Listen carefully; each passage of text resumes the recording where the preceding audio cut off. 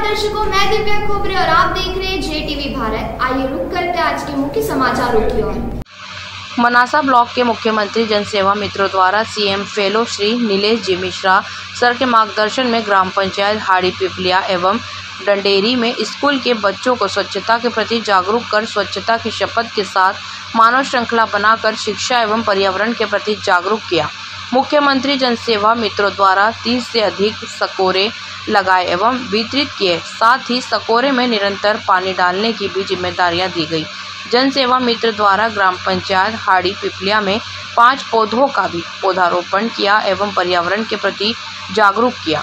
दीवार लेखन के माध्यम से स्वच्छता, लाडली पहना योजना, बेटी बचाओ, बेटी पढ़ाओ के प्रति भी जागरूक किया।